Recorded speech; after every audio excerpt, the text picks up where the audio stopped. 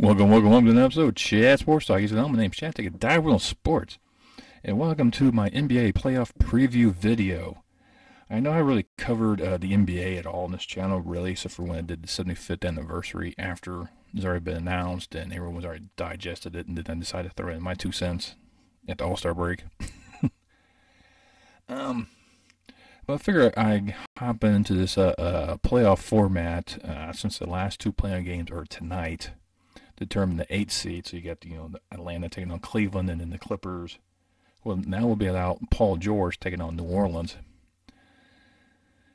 and kind of see you know who is going to be you know get the Bucks repeat as champions, and how's the playoffs going to look without LeBron James in the playoffs.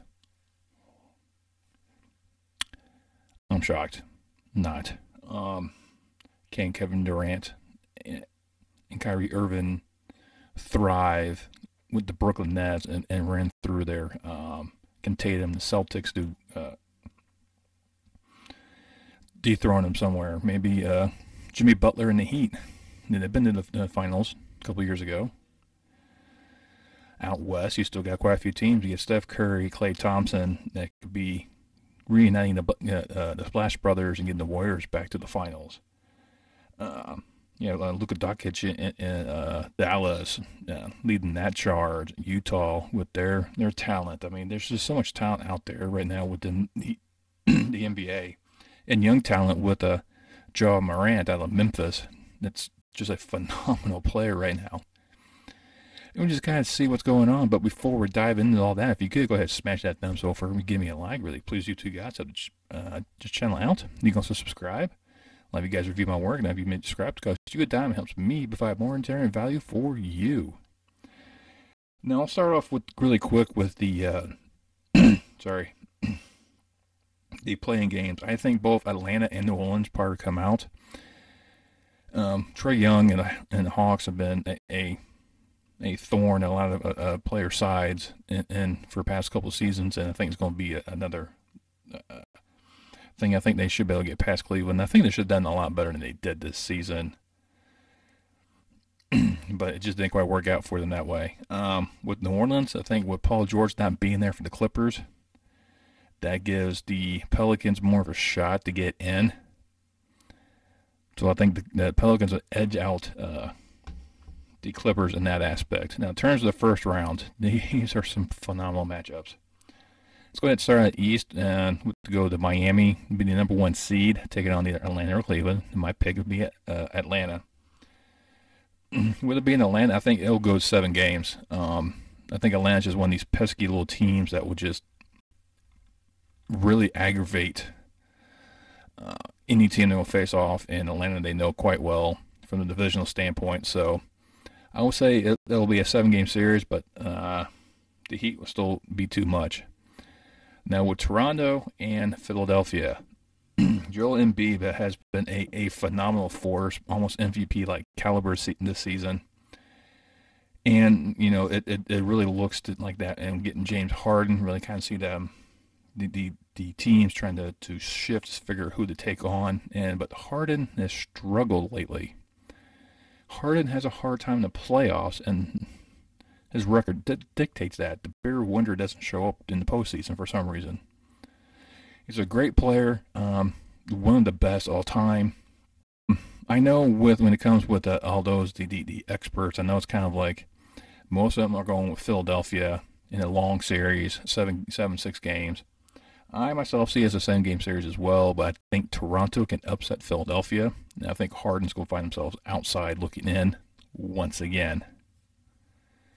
Boston and Brooklyn, uh, these two my behemoths squaring off, and it's really kind of hard, really, to see where they're going to go. I think the Nets is just one of these teams that, with KD and Kyrie, these are two phenomenal athletes right there, and Ben Simmons may or may not play in this series. And if he does, he's not going to be really an offensive uh, standpoint. So for you know the passing and defense, that's basically all Ben Simmons has to do and Tatum for the Celtics is just going to be too uh, a lot to handle.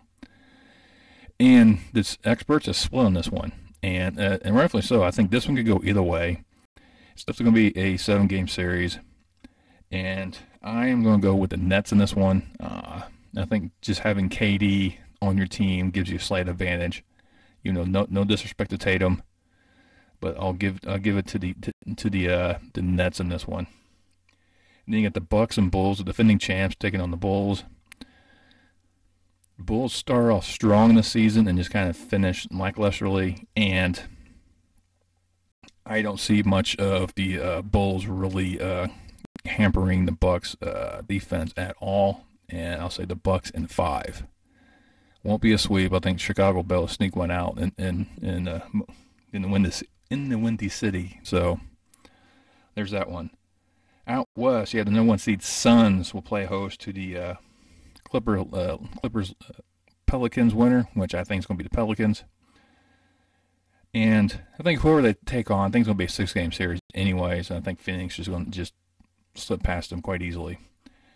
Now, with Dallas and Utah, this one is a very interesting matchup between these two. Uh, very well similar type of teams. And, and Doncic being out in game one, give Utah a slight advantage.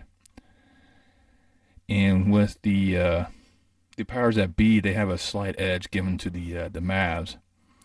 But depends on how long uh, Luka's out. I think I'm going to go more with Utah in this one in a uh, seven game series.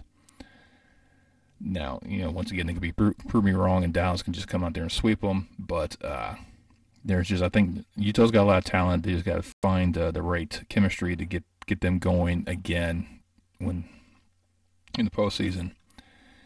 And really, the surprise matchup that no one saw coming the second seeded Grizzlies will take on the seven seed Timberwolves. When's the last time you said those two teams in the playoff, let alone facing off in the first round? I mean, both these franchises don't have a lot of success in the postseason.